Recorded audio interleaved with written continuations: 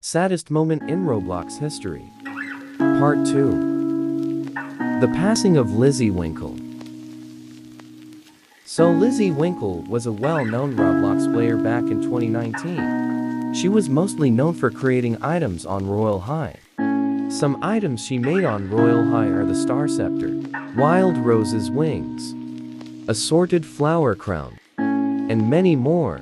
Everything was going well for Lizzy Winkle until November of 2019, when on the 29th, she would pass away. After a long battle of cancer. After this, the creator of Royal High made a tweet announcing Lizzy passing, and she also made a memorial game for Lizzy Winkle. This obviously made a lot of people sad. Knowing that Lizzy Winkle had passed away, and everyone in the Royal High community said their goodbyes to Lizzy Winkle. The end. And may Lizzy Winkle rest in peace.